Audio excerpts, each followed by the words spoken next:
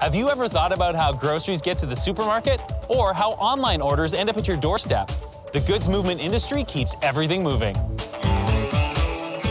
Calgary's Transportation Network helps us get the products we use every day at our homes, offices, and businesses on time. The goods movement strategy will identify actions to enhance the transportation network and help our economy thrive over the next 30 years.